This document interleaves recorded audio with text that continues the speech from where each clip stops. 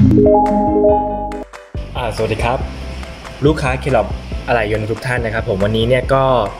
ทางร้านของเราเนี่ยก็อยากจะมานำเสนอตัวสินค้าอีกหนึ่งใน product นะครับ ผมทางของทางร้านที่เรามีจัดจำหน่ายนะครับ ที่เป็นบริษัทที่ได้รับความน่าเชื่อถือแล้วก็มีคุณภาพนะครับผมก็จะเป็นตัวปั๊ม power นะครับตัวนี้เนี่ยเราก็มีจำหน่าย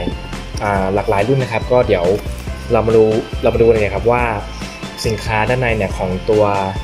ปั๊ม power เนี่ยจะเป็นยังไง ก็คือตัวนี้เนี่ยก็จะเป็นปั๊ม power นะครับที่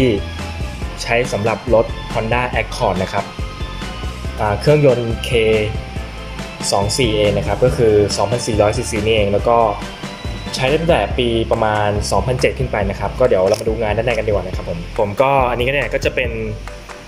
รูปร่างหน้าตานะครับของตัวสินค้านะครับ ก็อย่างที่เห็นนะครับ